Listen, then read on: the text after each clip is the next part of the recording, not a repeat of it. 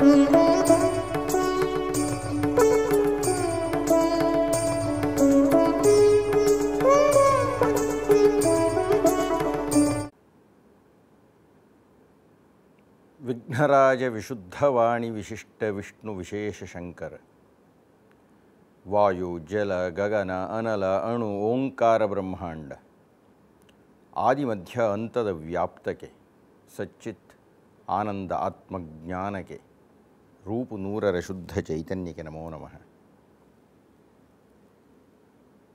ಆತ್ಮೀಯ ರಾಮಾಯಣದ ಕುತೂಹಲಿಗರೆ, ಇನ್ನೇನು ರಾಮನ ಅವತಾರದ ಸನ್ನಿಹಿತ ಮಂಗಳ ಮುಹೂರ್ತ.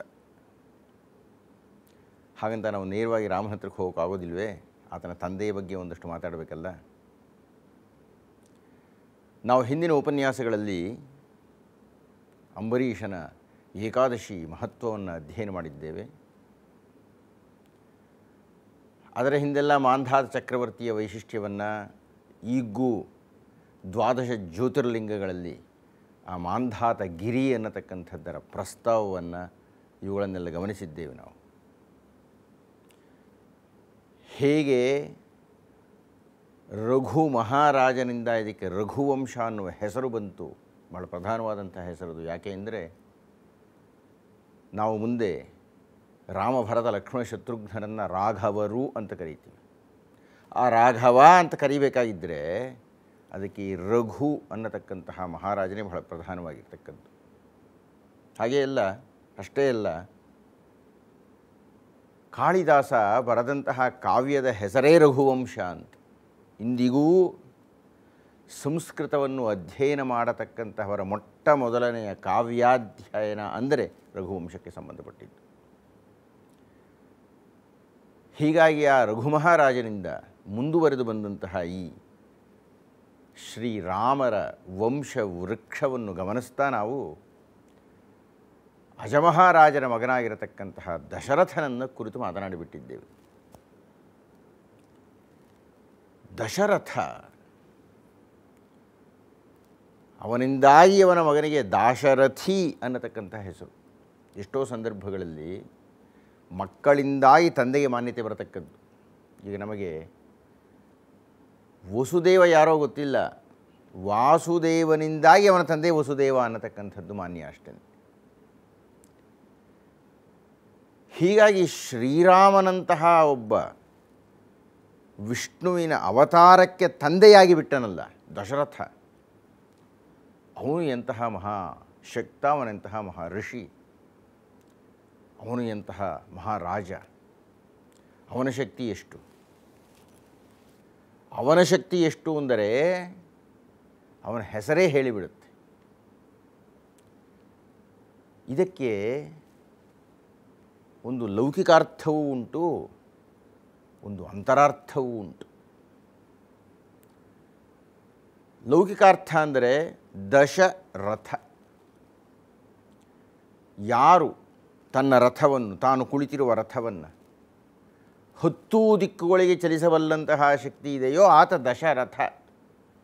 ನಮಗೆಲ್ಲ ಎಂಟು ದಿಕ್ಕುಗಳಿಗೆ ಚಲನೆ ಉಂಟು. ಆದರೆ ಎಂಟು ದಿಕ್ಕುಗಳಲ್ಲದೆ ಮೇಲೆ ಹಾಗೂ ಕೆಳಗೆ ಹತ್ತು ದಿಕ್ಕುಗಳು ಹತ್ತು ದಿಕ್ಕುಗಳಲ್ಲಿಯೂ ಆತ ತನ್ನ ರಥವನ್ನು ಚಲನೆ ಮಾಡ್ತಾ ಇದ್ದಂತೆ.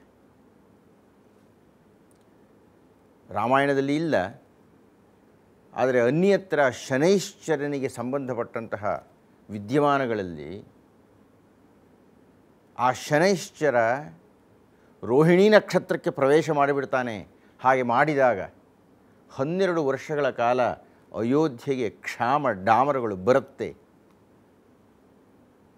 ಅನ್ನತಕ್ಕಂತಹ ವಿಷಯವನ್ನು ಕುರಿತು ರಾಜಸಭೆಯಲ್ಲಿ ಚರ್ಚೆ ಮಾಡಿದಂತಹ ದಶರಥ ಆ ಶನೈಶ್ಚರನನ್ನೇ ಎದುರಿಸಲಿಕ್ಕೆ ಹೋಗಿಬಿಡ್ತಾನಂತೆ ಮೇಲಕ್ಕೆ. ಅಲ್ಲಿ ಹೋಗಿ ಶನೈಶ್ಚರನ ಮೇಲೆ ಸಂಹಾರ ಅನ್ನತಕ್ಕಂಥ ಬಾಣಪ್ರಯೋಗಕ್ಕೂ ಹೋಗಿಬಿಡ್ತಾನೆ ಆತ ಆವಾಗ ಆತ ಹೇಳ್ತಾನೆ, ಅದೆಲ್ಲ ಆಗಲ್ಲ, ನನ್ನ ಮುಂದೆ ನಿಂದೇನೂ ಏನಾದರೂ ಬೇಕಾದರೆ ಪ್ರಾರ್ಥನೆ ಮಾಡಿಕೊ ಅಂತ. ಆಗ ದಶರಥ ಶನೈಶ್ಚರನ ಸ್ತೋತ್ರವೊಂದನ್ನು ಪಠಣೆ ಮಾಡ್ತಾನೆ.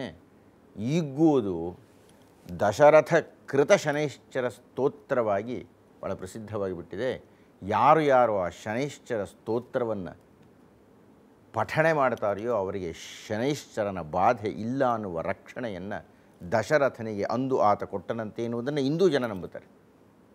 ಕೋಕಣಸ್ಥ ಪಿಂಗಲೋ ಬಭ್ರುಹು, ಕೃಷ್ಣೋ ರೌದ್ರೋಂತಕೋ ಯಮಃ, ಸೌರಿಹಿ, ಶನೈಶ್ಚರೋ ಮಂದಃ ಪಿಪ್ಪಲಾದೇನ ಸಂಸ್ಥಿತ ಅಂತ ಹತ್ತು ಹೆಸರುಗಳನ್ನು ಶನೈಶ್ಚರನಿಗೆ ಪ್ರದಾನ ಮಾಡಿ ಅದನ್ನು ಪಠಣೆ ಮಾಡಿದಂತಹ ಮಹಾಶಕ್ತ ಭಕ್ತ ದಶರಥ. ಇದು ಮೇಲ್ನೋಟಕ್ಕೆ ಕಾಣಿಸ್ತಕ್ಕಂಥ ಅರ್ಥ. ದಶರಥ ಅಂದರೆ ಆದರೆ ಅಲ್ಲ, ಅದಕ್ಕೊಂದು ಆಂತರ್ಯದ ಅರ್ಥ ಉಂಟು. ಅದು ನಮಗೆ ಅರ್ಥವಾಗಬೇಕಾದರೆ ಕಠೋಪನಿಷತ್ತನ್ನು ನೋಡಬೇಕು. ಆತ್ಮಾನಂ ರಥಿನಂ ವಿದ್ಧಿ. ಶರೀರಂ ರಥಮೇವತು ಬುದ್ಧಿಸ್ಥು ಸಾರಥಿಂ ವಿದ್ಧಿ ಮನಃ ಪ್ರಗ್ರಹಮೇವ ಚ ಅಂತಾನೆ ಋಷಿ ಆತ್ಮಾನಂ ರಥಿನಂ ವಿದ್ಧಿ ಶರೀರಂ ರಥಮೇವತು ಅಯ್ಯ ರಥ ಅಂತ ಯಾವುದನ್ನು ಕರಿತಾ ಇದೀಯ ನೀನು ಈ ಶರೀರವನ್ನು ರಥ ಅಂತ ಕರಿತಾ ಇದೆಯಪ್ಪ ಈ ಶರೀರ ಅನ್ನತಕ್ಕಂತಹ ರಥಕ್ಕೆ ಆತ್ಮಾನಂ ರಥಿನಂ. ಆ ರಥಿಕ ಯಾರಯ್ಯ? ನಮ್ಮದೊಂದು ಗಾಡಿ ಇರುತ್ತೆ. ಆ ಗಾಡಿಯಲ್ಲಿ ಮುಂದೆ ಚಾಲಕ ಕೂತ್ಕೊಂಡಿರ್ತಾನೆ. ಆದರೆ ಆ ಚಾಲಕ ಒಡೆಯನಲ್ಲ ಒಡೆಯ ಹಿಂದಿರ್ತಾನೆ. ನೋಟಕರಿಗೆ ಚಾಲಕ ಕಾಣಿಸ್ತಾನೆ, ಒಡೆಯ ಕಾಣೋದಿಲ್ಲ, ಒಡೆಯ ಹಿಂದೆ ಇರ್ತಾನೆ, ಹಿಂದಿನ ಜಾಗದಲ್ಲಿ ಇರ್ತಾನೆ ಹಾಗೆ ಆತ್ಮ ಅನ್ನುವುದು ಕಾಣುವುದಿಲ್ಲ. ಆತ್ಮಾನಂ ರಥಿನಂ. ಈ ದೇಹ ಅನ್ನತಕ್ಕಂತಹ ರಥಕ್ಕೆ. ಆತ್ಮ ಅನ್ನತಕ್ಕಂತಹವನು ರಥಿಕ. ಶರೀರಂ ರಥಮೇವತು. ಈ ಶರೀರ ಅನ್ನತಕ್ಕಂಥದ್ದೇ ಒಂದು ರಥ. ಬುದ್ಧಿಸ್ಥು ಸಾರಥಿಂ ವಿದ್ಧಿ. ಈ ಬುದ್ಧಿ ಇದೆಯಲ್ಲ ಸ್ವಾಮಿ? ಅದು ಸಾರಥಿ ಇದ್ದ ಹಾಗೆ ಮನಃ ಪ್ರಗ್ರಹಮೇವಚ ಆ ಮನಸ್ಸು ಅನ್ನತಕ್ಕಂಥದ್ದು ಹಗ್ಗ ಇದ್ದ ಹಾಗೆ. ಇಂದ್ರಿಯಾಣಿ ಹಯಾರ್ನಾಹುಹು. ಆ ಇಂದ್ರಿಯಗಳು ಉಂಟಲ್ಲ, ಕಣ್ಣು, ಕಿವಿ, ಮೂಗು, ನಾಲಿಗೆ, ಚರ್ಮ ಇತ್ಯಾದಿ. ಅಥವಾ ಜ್ಞಾನೇಂದ್ರಿಯಗಳು. ಇವುಗಳೆಲ್ಲ ಅಶ್ವಗಳು, ಈ ರಥಕ್ಕೆ ಕಟ್ಟಿರುವ ಅಶ್ವಗಳು. ಇದನ್ನೇ ನಮ್ಮ ಶಿವಶರಣರು ತುಂಬಿದ ಒಡಲು ಅಂತ ಕರೀತಾರೆ. ತುಂಬಿದ ಬಂಡಿ ಕಾಣಯ್ಯ ಅಂತಾನೆ ಅಲ್ಲವ ಪ್ರಭು. ಈ ಬಂಡಿಯನ್ನು ತುಂಬ ತುಂಬ್ಕೊಂಡು ಬಿಟ್ಟಿದೆಯಪ್ಪ ಎಲ್ಲನೂ. ಆ ಇಂದ್ರಿಯಗಳು ಆತ್ಮನ ಹೇಳಿಕೆಗೆ ಅನುಗುಣವಾಗಿ ನಡೆಯದೇ ಇದ್ದರೆ ಬಂಡಿ ಬಿದ್ದೋಗ್ಬಿಡುತ್ತೆ. ದಶರಥನ ಸಂದರ್ಭದಲ್ಲಿ ಆದದ್ದು ಈ ಲೋಪ. ದಶರಥ ಹತ್ತು ಅಂದರೆ ಹಿಂದೊಮ್ಮೆ ಮಾತಾಡ್ತಾ ಹೇಳಿದೆ, ಐದು ಜ್ಞಾನೇಂದ್ರಿಯಗಳು, ಐದು ಪಂಚೇಂದ್ರಿಯಗಳು.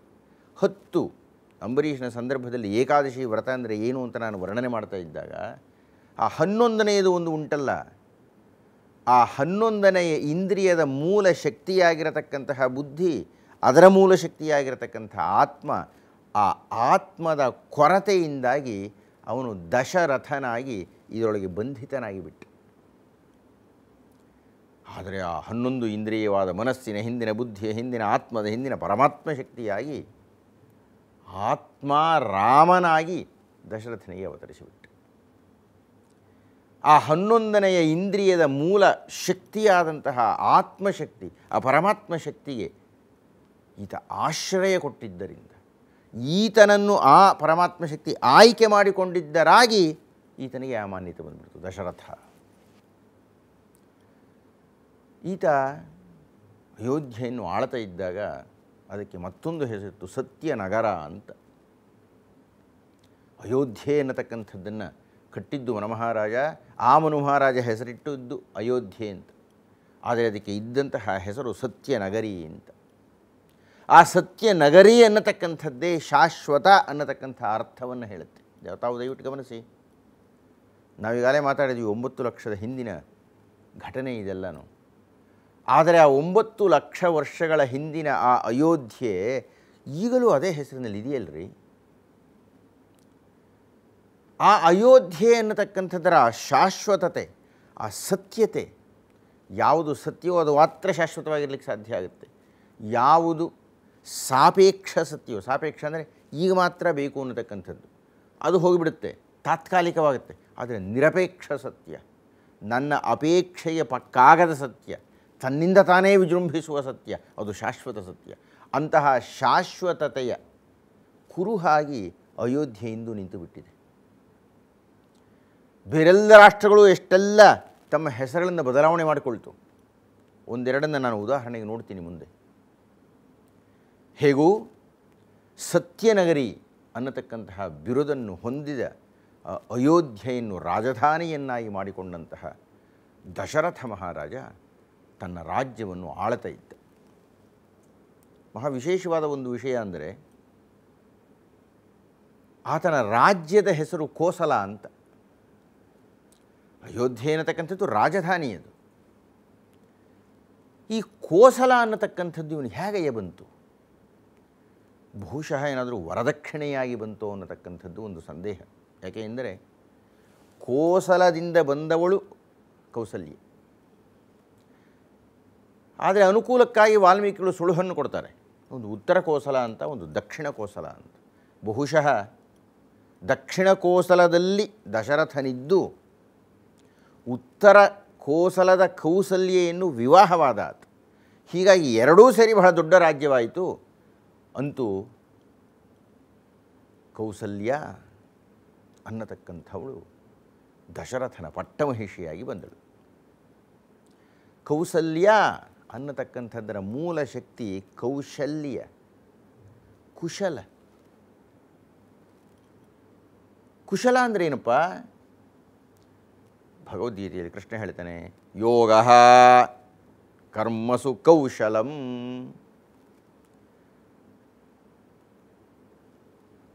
ಕೃಷ್ಣ ಭಗವದ್ಗೀತೆಯ ಉಪದೇಶವನ್ನು ಮಾಡುವ ಹೊತ್ತಿಗೆ ಆಜ್ಞೆ ಇದ್ದಂತಹ ಯೋಗ ಅನ್ನುವ ಪದದ ನಿರ್ವಚನವನ್ನೇ ಬದಲಾವಣೆ ಮಾಡಿಬಿಡ್ತಾನಂತೆ. ಯೋಗ ಚಿತ್ತವೃತ್ತಿ ನಿರೋಧ ಅಂತ ಕೃಷ್ಣನಿಗೆ ಹಿಂದೆ ಇದ್ದದ್ದು. ಪಾತಂಜಲ ಮಹರ್ಷಿಗಳು ಕಂಡರಿಸಿದ್ದು. ಆ ಚಿತ್ತವೃತ್ತಿ ನಿರೋಧ ಅಂದರೆ ಯೋಗ ಅನ್ನುವುದನ್ನು ಬದಲಾವಣೆ ಮಾಡಿದಂತಹ ಕೃಷ್ಣ ಯೋಗ, ಕರ್ಮಸು, ಕೌಶಲಂ, ಕೌಶಲ್ಯ, ಅದೇ ಯೋಗ ಕಣಯ್ಯ. ತಾವು ಒಂದಕ್ಕೆ ಒಂದು ಸಂಬಂಧ ಏರ್ಪಡಿಸಬೇಕು. ಕುಶಲಕರ್ಮವೇ ಯೋಗವಾಗಿ ಬಿಟ್ಟರೆ, ಆ ಕೌಶಲ್ಯವೇ ಇಲ್ಲೇ ಯೋಗಿನಿಯಾದರೆ, ಆ ಕೌಶಲ್ಯಗೆ ಹುಟ್ಟುವ ರಾಮನೇ ಯೋಗಿ ರಾಮನಾದರೆ ಆಶ್ಚರ್ಯ ಏನು ಅಂದರೆ ಮುಂದೆ ಯೋಗ ವಾಸಿಷ್ಠ ಅನ್ನತಕ್ಕಂಥ ಒಂದು ಕೃತಿ ಬಂತು ರಾಮನ ಚಿಂತನೆಯನ್ನು ಮಂಡನೆ ಮಾಡಲಿಕ್ಕೆ. ಆ ಕೌಸಲ್ಯೆ ಪಟ್ಟಮಹಿಷಿಯಾಗಿ ಇದ್ದವಳು. ಆಕೆ ಬಗ್ಗೆ ನಾವು ಅಯೋಧ್ಯಾಕಾಂಡದಲ್ಲಿ ಹೆಚ್ಚು ಚಿಂತನೆ ಮಾಡೋಣ. ಒಂದಷ್ಟು ಕಾಲ ಆಯಿತು, ಕೆಲವು ವರ್ಷಗಳಾಯಿತು. ದಶರಥನಿಗೆ ಮಕ್ಕಳಾಗಲಿಲ್ಲ. ಅದಕ್ಕೆ ಕಾರಣ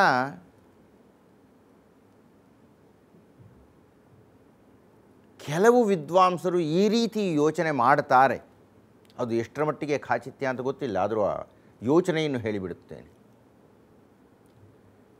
ಈ ದಶರಥ ತುಂಬ ಆತುರಗಾರ, ಚಾಪಲ್ಯ ಜಾಸ್ತಿ. ತಾನೇ ನಿರ್ಣಯ ತೊಗೊಂಡ್ಬಿಡ್ತಾನೆ. ಆತನ ಇನ್ನು ಗುರುಗಳು ಎದುರು ಇದ್ರೂ ನಾವು ಮುಂದೆ ಅದನ್ನೆಲ್ಲ ಮಾತಾಡಲಿದ್ದೇವೆ. ಆ ಗುರುಗಳ ಜೊತೆಗೆ ಚರ್ಚೆಯೇ ಮಾಡದೆ ಆದೇಶಗಳನ್ನು ಕೊಡಲಿಕ್ಕೆ ಹೋಗ್ಬಿಡ್ತಾನೆ ರಾಜ ಅನ್ನತಕ್ಕಂಥ ಹಿನ್ನೆಲೆಯಲ್ಲಿ ಹಾಗೂ ತಾನು ಮಹಾಪ್ರಾಜ್ಞ ಅನ್ನತಕ್ಕಂಥ ಭ್ರಮೆಯಲ್ಲಿ. ಹೀಗಾಗಿ ಒಂದು ಎರಡು ಮೂರು ತಪ್ಪುಗಳಾಗುತ್ತೆ ರಾಮಾಯಣದಲ್ಲಿ ಅದನ್ನು ನಾವು ನೋಡಲಿದ್ದೇವೆ. ಈ ಆತುರತೆ ಇದು ಆತನಿಗೆ ಪ್ರಾಣಕ್ಕೆ ಕೂತು ತಂದು ಬಿಡ್ತು ಮುಂದೆ ಅಯೋಧ್ಯಾಕಾಂಡದಲ್ಲಿ ಅದನ್ನು ವಿಸ್ತಾರವಾಗಿ ಕೌಸಲ್ಯ ಆತ ಹೇಳ್ತಾನೆ, ಈಗಲೇ ನಾವು ಅದನ್ನು ನೆನಪಿಸಿಕೊಂಡು ಬಿಡೋಣ. ಯುವಕ, ಯುವಕನಾಗಿದ್ದಾಗ ಬೇಟೆಯ ಹುಚ್ಚು, ಅದರು ರಜನೀಯ ಬೇಟೆ ಅವನಿಗೆ ಮಹಾ ಇಷ್ಟ. ಕತ್ತಲಿನಲ್ಲಿ ಬೇಟೆಯಾಡಲಿಕ್ಕೆ ಹೋಗಿದ್ದಾನೆ. ಹೋಗಿದ್ದಾಗ ಯಾವುದೋ ಒಂದು ಕೊಳದಲ್ಲಿ ಯಾವುದೋ ಒಂದು ನೀರು ಕುಡಿತಾ ಇರತಕ್ಕಂತಹ ಸದ್ದು ಅವನಿಗೆ ಕೇಳುತ್ತೆ. ನಾವು ಗಮನಿಸಬೇಕಾದ ಅಂಶ ಏನು ಅಂದರೆ, ನಮ್ಮಲ್ಲಿ ಇರತಕ್ಕಂತಹ ಯಾವುದಾದರೂ ಶಕ್ತಿ ಇದ್ದರೆ, ಅದನ್ನು ಪಾತ್ರ ಪಾತ್ರ ವಿವೇಚನೆಯನ್ನು ಮಾಡಿ ಪ್ರಯೋಗಿಸಬೇಕು ನಾವು. ನಾನು ರಾಮಾಯಣದ ಬಗ್ಗೆ ಮಾತಾಡ್ತಾ ಇದ್ದೀನಿ ಅಂದ್ಕೊಂಡು ಪ್ರಾಥಮಿಕ ಶಾಲೆಯ ವಿದ್ಯಾರ್ಥಿನ ಕೂಡಿಸ್ಕೊಂಡು, ಏಯ್, ರಾಮಾಯಣ ಅಂತ ಹೇಳಬಾರ್ದು ನಾನು. ಅವನಿಗೆ ಅದನ್ನು ಸ್ವೀಕಾರ ಮಾಡತಕ್ಕಂಥ ಶಕ್ತಿ ಇರೋದಿಲ್ಲ. ಅಂದರೆ ಅರ್ಥ ಏನು ಅಂದರೆ, ನಾವು ನಮ್ಮ ಶಕ್ತಿಯನ್ನು ಪ್ರದರ್ಶನ ಮಾಡಬೇಕಾಗಿದ್ದರೆ ಒಂದು ಕಾಲ ಬೇಕು, ಒಂದು ಪಾತ್ರ ಬೇಕು ಅದಕ್ಕೆ. ಹಾಗಲ್ಲದೇ ಪ್ರಯೋಗಿಸಿಬಿಟ್ಟರೆ ದಶರಥನಿಗೆ ಆದ ಅವಸ್ಥೆ ಆಗುತ್ತೆ. ಈ ಅಸ್ತ್ರವಿದ್ಯೆಯಲ್ಲಿ ಅಸ್ತ್ರವಿದ್ಯೆ ಅಂದರೆ ಅಸ್ತ್ರಕ್ಕೂ ಶಸ್ತ್ರಕ್ಕೂ ಇರುವ ವ್ಯತ್ಯಾಸ. ಶಸ್ತ್ರ ಅಂದರೆ ಯಾವುದೋ ಒಂದು ಆಯುಧ. ಆದರೆ ಮಂತ್ರಪೂರಿತವಾದ ಆಯುಧವನ್ನು ಅಸ್ತ್ರ ಅಂತ ಕರೀತಾರೆ. ಉದಾಹರಣೆಗೆ ಒಂದು ಬಾಣ. ಬಾಣ ಬಿಡ್ತೀವಿ ನಾವು. ಬಾಣ ಅನ್ನತಕ್ಕಂಥ ಒಂದು ಲೋಹದ ಕಡ್ಡಿ. ಅದಕ್ಕೆ ಚೂಪಾಗಿರತಕ್ಕಂಥ ಒಂದು ಸಾಧನ ಮುಂದಕ್ಕೆ ಅಂಟಿಸಿರ್ತಾರೆ. ಅದನ್ನು ಬಿಡ್ತೀವಿ. ಇದು ಶಸ್ತ್ರ. ಆದರೆ ಆ ಬಾಣಕ್ಕೆ ಮಂತ್ರ ಪ್ರಯೋಗ ಮಾಡಿಬಿಟ್ಟರೆ ಈಗ ನಾನು ಬಾಣವನ್ನು ಬಿಟ್ಟಾಗ ಹೇಗೆ ಹೋಗುತ್ತೆ? ನೇರವಾಗಿ ಹೋಗುತ್ತಷ್ಟೇ ಇದು. ಆದರೆ ಅಸ್ತ್ರವಾದರೆ, ಮಂತ್ರ ಪ್ರಯೋಗವಾದರೆ ಆ ಬಾಣಕ್ಕೆ ನಾನು ಆದೇಶ ಕೊಡ್ತೀನಿ. ಮೂರಡಿ ನೇರವಾಗಿ ಹೋಗಿ, ಎರಡಡಿ ಎಡಗಡೆಗೆ ತಿರುಕೊಂಡು, ಮತ್ತೆ ಮೂರಡಿ ಹೀಗೆ ಹೋಗು, ಆ ಆದೇಶ ಕೊಡ್ತೀನಿ ನಾನು. ಅದರಂತೆ ಅದು ಬಗ್ಗಿ ಹೋಗುತ್ತೆ. ಇದು ಲೌಕಿಕವಾಗಿ ಬರೀ ಶಸ್ತ್ರಕ್ಕೆ ಸಾಧ್ಯ ಇಲ್ಲ. ಹೀಗಾಗಿ ಮಂತ್ರಾಸ್ತ್ರಗಳು ಅಂತ ಕರಿತೀವಿ ನಾವು ಅದನ್ನು. ಅಂತಹ ಮಂತ್ರಾಸ್ತ್ರಗಳಲ್ಲಿ ಒಂದು ಅಸ್ತ್ರ ಶಬ್ದವೇದಿ ಬಾಣ. ಆ ಶಬ್ದವೇದಿ ಬಾಣದ ಶಕ್ತಿ ಎಂಥದ್ದು ಅಂದರೆ ಶತ್ರು, ಗಮನಿಸಿ ಆ ಪದವನ್ನು. ಶತ್ರು ಯುದ್ಧ ಮಾಡುತ್ತಿದ್ದಾಗ ಕಣ್ಣಿಗೆ ಕಾಣದೆ ಅಡಗಿ ಕುಳಿತಿದ್ದರೆ ನನಗೆ ಶತ್ರು ನನ್ನ ಕಣ್ಣಿಗೆ ಕಾಣಿಸದೇ ಹೋದರೆ, ಉದಾಹರಣೆಗೆ ಮುಂದೆ ಶ್ರೀಮದ್ ರಾಮಾಯಣದ ಯುದ್ಧಕಾಂಡದಲ್ಲಿ ಇಂದ್ರಜಿತು ಯುದ್ಧ ಮಾಡ್ತಾ ಇದ್ದಾನೆ, ಕಣ್ಣಿಗೆ ಕಾಣಿಸ್ತಾ ಇಲ್ಲ ಅವನು, ಮಾಯವಾಗಿಬಿಟ್ಟಿದ್ದಾನೆ. ಯಾವುದೋ ಒಂದು ದಿಕ್ಕಿನಿಂದ ವಾಹನಗಳ ಮಳೆ ಆಗ್ತಾ ಇದೆ. ಹೀಗಾಗಿ ಆಗ ಏನು ಮಾಡಬೇಕಾಗತ್ತೆ?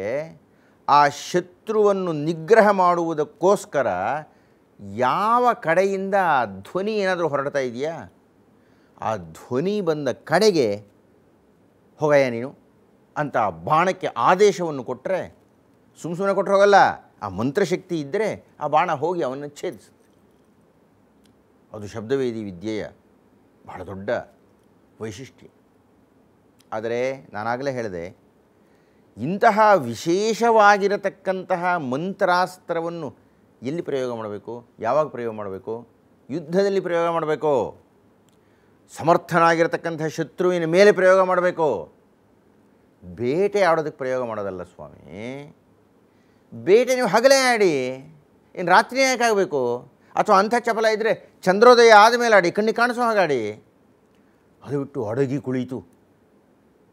ಯಾವುದೋ ಕೊಳದಲ್ಲಿ ಯಾವುದೋ ಒಂದು ಪ್ರಾಣಿ ನೀರು ಕುಡಿಯಲಿಕ್ಕೆ ಬಂದಾಗ ನಾನು ಬಾಣ ಬಿಡ್ತೀನಿ ಅಂತ ಹೇಳಿದರೆ ಅದು ಸರಿಯಾದ ಪ್ರಯೋಗ ಅಲ್ಲ. ಯಾವಾಗ ನಾವು ಪಾತ್ರ ವಿವೇಚನೆ ಇಲ್ಲದೆ ವರ್ತಿಸಿ ಬಿಡುತ್ತೇವೆ, ಆಗ ದಶರಥನಿಗಾದಂಥ ಅವಸ್ಥೆ ಆಗುತ್ತೆ.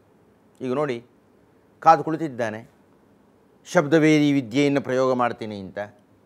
ಯುದ್ಧವೇ ಅಲ್ಲ ಅದು, ಶತ್ರುವೂ ಇಲ್ಲ, ವಿರೋಧವೇ ಇಲ್ಲ, ಹುಡುಕಿಕೊಳ್ಳಬೇಕಾದ್ದೂ ಇಲ್ಲ.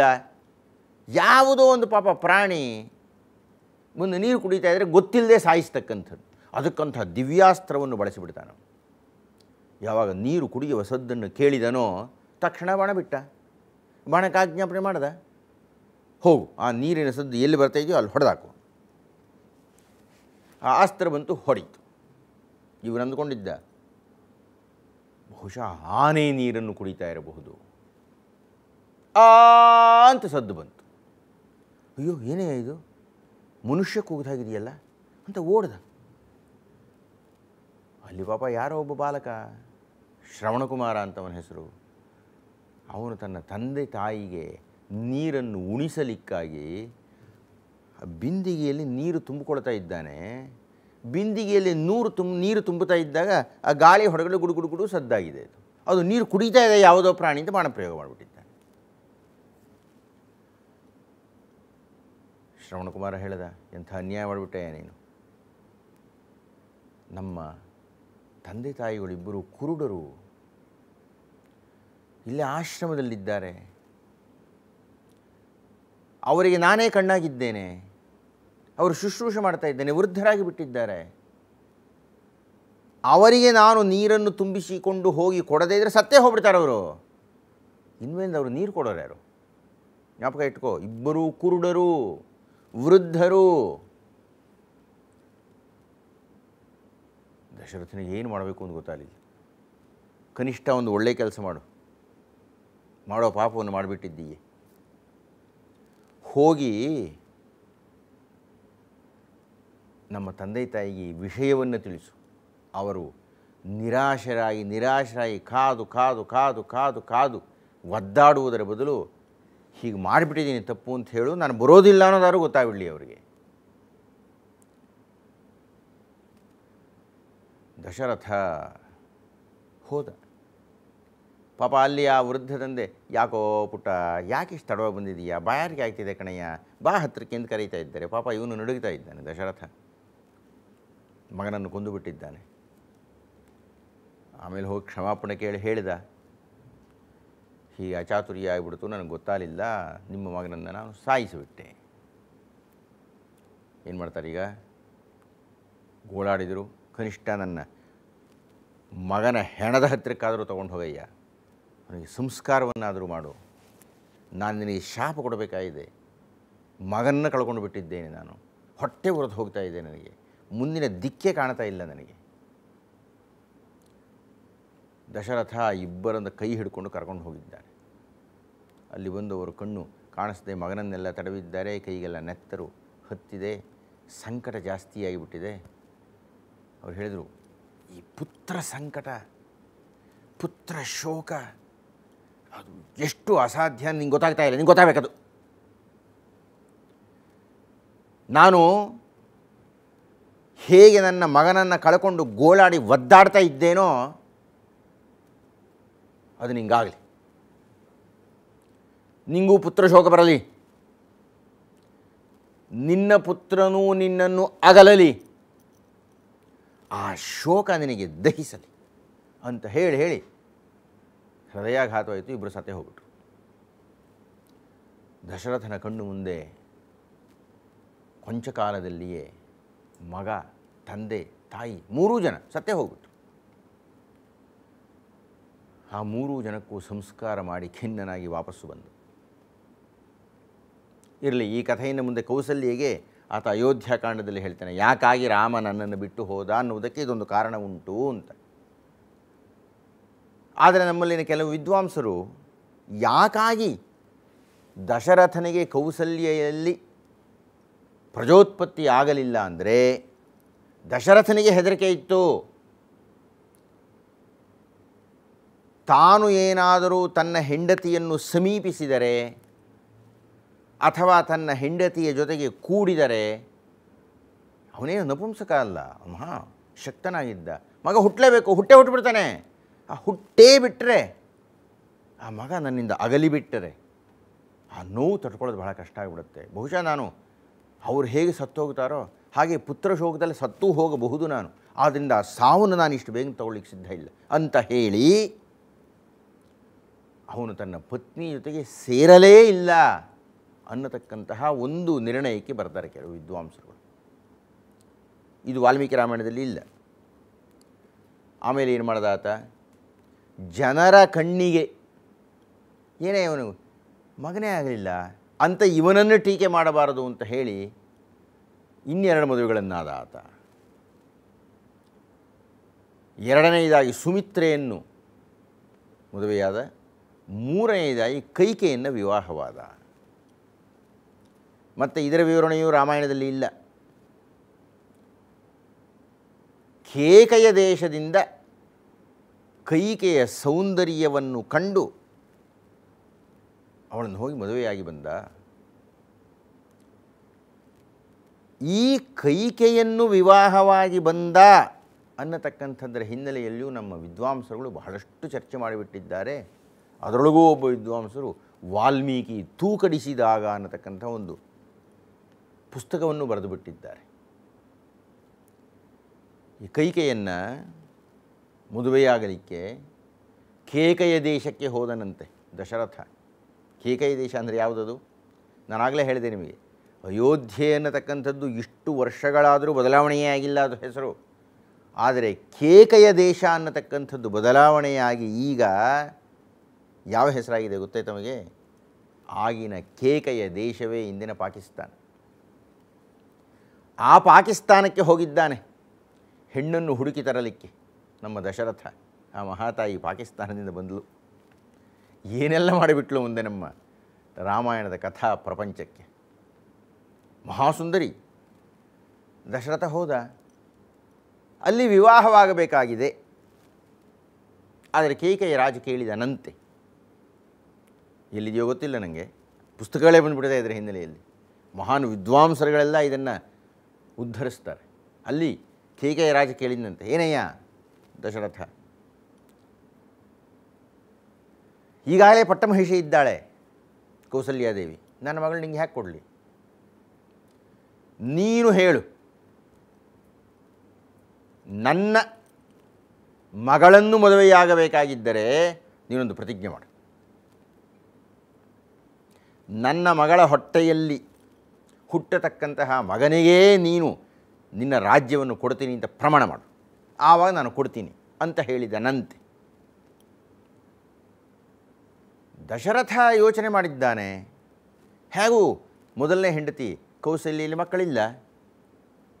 ಎರಡನೇ ಹೆಂಡತಿ ಸುಮಿತ್ರೆಯಲ್ಲೂ ಮಕ್ಕಳಿಲ್ಲ. ಮಕ್ಕಳಿಲ್ಲದೇ ಇರೋದರಿಂದ ನಾನು ಮೂರನೇ ಮದುವೆ ಆಗ್ತಾ ಇದ್ದೇನೆ. ಆದ್ದರಿಂದ ಇವಳಲ್ಲಿ ಮಗು ಹುಟ್ಟಿದರೆ ಪಟ್ಟಾಭಿಷೇಕ ಮಾಡೋಣ ಯಾಕಾಗಬಾರ್ದು? ಅಂತ ಹೇಳಿರಬಹುದು. ಬಹುದು.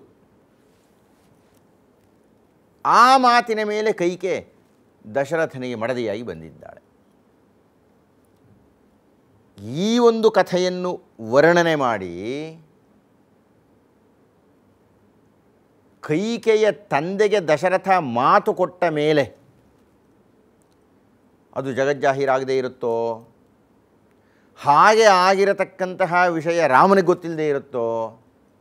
ರಾಮನಿಗೆ ಅದು ಗೊತ್ತಿದ್ದೂ ಹೇಗೆ? ಅವನು ಪಟ್ಟಾಭಿಷೇಕಕ್ಕೆ ಒಪ್ಪಿಕೊಂಡ. ಆದ್ದರಿಂದ ರಾಮನಲ್ಲಿ ಅಂತಹ ಸ್ವಚ್ಛತೆ ಇಲ್ಲ ಅನ್ನತಕ್ಕಂತಹ ಸಿದ್ಧಾಂತಗಳಿಗೆಲ್ಲ ಬಂದು ಬಿಟ್ಟಿದ್ದಾರೆ ನಮ್ಮಲ್ಲಿ. ಇದರ ಬಗ್ಗೆ ನಾನು ಅಯೋಧ್ಯಾಕಾಂಡದ ಸಂದರ್ಭದಲ್ಲಿ ಹೆಚ್ಚು ವಿಷದವಾಗಿ ಚರ್ಚೆ ಮಾಡ್ತೀನಿ. ಆದರೆ ಈ ಕ್ಷಣದಲ್ಲಿ ನಾವು ಕೇಳಬೇಕಾದ ಪ್ರಶ್ನೆ ಏನು ಅಂದರೆ, ಇಷ್ಟೆಲ್ಲ ವಿವರಣೆಯನ್ನು ನಾನೀಗ ಕೊಟ್ಟನಲ್ಲ ಇದಕ್ಕೆ ಎಲ್ಲಾದರೂ ಆಧಾರವಿದೆಯೇ ಅಂತ ಶ್ರೀಮದ್ ರಾಮಾಯಣದಲ್ಲಿ ಯಾವುದೇ ವಿವರಣೆ ಇಲ್ಲ. ಆದರೆ ಭರತ ಮುಂದೆ ರಾಮನನ್ನು ವಾಪಸ್ಸು ಬರಬೇಕು ಅಂತ ಕರೆಯಲಿಕ್ಕೆ ಹೋದಾಗ ರಾಮನ ಬಾಯಿನಲ್ಲಿ ಒಂದು ಮಾತು ಬರುತ್ತೆ, ಒಂದು ಅರ್ಧ ಶ್ಲೋಕ ಬರುತ್ತೆ. ಅದನ್ನು ಆಧಾರವಾಗಿ ಇಟ್ಟುಕೊಂಡು ಇಂಥದ್ದೊಂದು ಕಥೆಯನ್ನು ಸೃಷ್ಟಿ ಮಾಡಿಬಿಟ್ಟಿದ್ದಾರೆ. ನಾನು ಆ ಶ್ಲೋಕ ಏನು, ಅದರ ವಿವರಣೆ ಏನು, ಅರ್ಥ ಏನು ಅನ್ನುವುದನ್ನು ನಾನು ಮುಂದೆ ಮಾತನಾಡಲಿದ್ದೇನೆ. ಆದರೆ ಅಷ್ಟರಿಂದಾಗಿಯೇ ದಶರಥ ಮಹಾರಾಜ ಪ್ರತಿಜ್ಞೆ ಮಾಡಿಬಿಟ್ಟ ಕೈಕೆ ಮಗನಿಗೆ ಪಟ್ಟ ಕಟ್ತೀನಿ ಅಂತ ಹೇಳಿಬಿಟ್ಟ, ಅನ್ನತಕ್ಕಂಥದ್ದು ಬಹಳ ದುಬಾರಿಯಾಗಿಬಿಡುತ್ತೆ. ಹೇಗೂ ಇರಲಿ. ದಶರಥ ಮಹಾರಾಜನಿಗೆ ಮೂರು ಜನ ಪತ್ನಿಯರು, ಕೌಸಲ್ಯೆ, ಸುಮಿತ್ರೆ ಹಾಗೂ ಕೈಕೆ. ಇದು ಮೊದಲನೆಯವಳು ಪಟ್ಟ ಮಹಿಷಿ ಕೌಸಲ್ಯೆ, ಸರಿ. ಎರಡನೆಯವಳು ಯಾರು? ಎರಡನೆಯವಳು ಸುಮಿತ್ರೆಯೋ, ಕೈಕೆಯೋ, ಅನ್ನತಕ್ಕಂಥದ್ರ ಬಗ್ಗೆ ನಮ್ಮ ವಿದ್ವಾಂಸರು ಸಾಕಷ್ಟು ತಲೆ ಕೆಡಿಸ್ಕೊಂಡು ಬಿಟ್ಟಿದ್ದಾರೆ. ಬಹಳಷ್ಟು ಮಂದಿ ಇಲ್ಲ ಇಲ್ಲ ಕೌಸಲ್ಯ ಆದಮೇಲೆ ಸುಮಿತ್ರೆಯೇ ಕೊನೆಗೇ ಕೈಕೆಯನ್ನು ವಿವಾಹವಾಗಿದ್ದು, ಅನ್ನುವ ನಿರ್ಣಯಕ್ಕೆ ಬಂದರೂ ಕೆಲವು ವಿದ್ವಾಂಸರುಗಳು, ಇಲ್ಲ, ಕೈಕೆಯೇ ಎರಡನೆಯ ಹೆಂಡತಿ ಅಂತ ಸಾಧಿಸಲಿಕ್ಕೆ ಪ್ರಯತ್ನ ಪಡ್ತಾರೆ ನಾವು ನೆನಪಿನಲ್ಲಿ ಇಟ್ಕೊಳ್ಬೇಕಾದ್ದು ವಾಲ್ಮೀಕಿ ಮಹರ್ಷಿಗಳು ಯಾರ ಮೊದಲನೇ ಹೆಂಡತಿ, ಯಾರು ಎರಡನೇ ಹೆಂಡತಿ, ಯಾರು ಮೂರನೇ ಹೆಂಡತಿ ಎನ್ನತಕ್ಕಂಥದ್ದನ್ನು ನೇರವಾಗಿ ದಾಖಲು ಎಲ್ಲೂ ಮಾಡಿಲ್ಲ. ಅದರಿಂದಾಗಿ ಊಹಾಪೋಹಗಳು ಜಾಸ್ತಿಯಾಗಿ ಬಿಟ್ಟಿದೆ ಈ ಕೈಕೆಯನ್ನು ಎರಡನೆಯ ಹೆಂಡತಿ ಅಂತ ಸಾಧಿಸಲಿಕ್ಕೆ ಅವರು ಕೊಡುವ ಒಂದೆರಡು ಕಾರಣಗಳನ್ನು ನೋಡಿಬಿಡೋಣ. ಮೊದಲನೆಯ ಕಾರಣ ಅವರು ಏನು ಹೇಳ್ತಾರೆ ಅಂದರೆ ಈ ಕೈಕೆಯನ್ನು ಪರಿಚಯ ಮಾಡಿಸುವ ಸಂದರ್ಭದಲ್ಲಿ, ಒಂದೆರಡು ಕಡೆ ರಾಮಾಯಣದಲ್ಲಿ, ಮಧ್ಯಮಾಂಬಾ ಅಂತ ಕರೆದಿದ್ದಾರೆ. ಮಧ್ಯದ ತಾಯಿ ಈಕೆ ಅಂದರೆ ಮೊದಲನೇ ತಾಯಿ ಕೌಸಲ್ಯೆ, ಮೂರನೇ ತಾಯಿ ಸೌಮಿತ್ರೆ, ಮಧ್ಯದ ತಾಯಿ ಕೈಕೆ ಅಂತ ಕರೆದಿದ್ದಾರೆ. ಆದ್ದರಿಂದ, ಹಾಗೆ ಕರೆದಿರೋದುಂಟು ಆ ಕೆಲವು ಸಂದರ್ಭಗಳಲ್ಲಿ. ಆದ್ದರಿಂದ ಕೈಕೆ ಎರಡನೇ ಹೆಂಡತಿ ಆಗಿರಬೇಕು. ಇದು ಒಂದು ಕಾರಣ. ಅದಕ್ಕಿನ್ನ ಪ್ರಬಲವಾದ ಮತ್ತೊಂದು ಕಾರಣವನ್ನು ಕೊಡ್ತಾರೆ. ಅದೇನಪ್ಪ ಅಂದರೆ